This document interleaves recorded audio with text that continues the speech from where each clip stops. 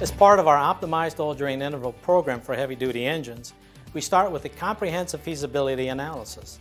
We look at a fleet's overall maintenance practices, including current oil and filter services, chassis regreasing intervals, and other items like safety inspections. They all need a mesh in order to deliver on the lowest operating cost commitments.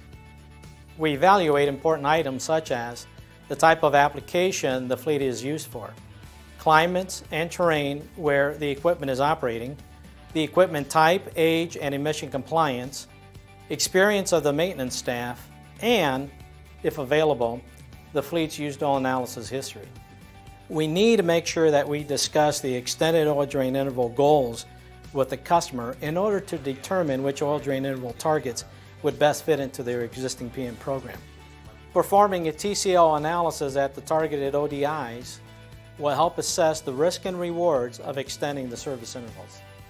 Engaging the fleet's OEM partners is also very important.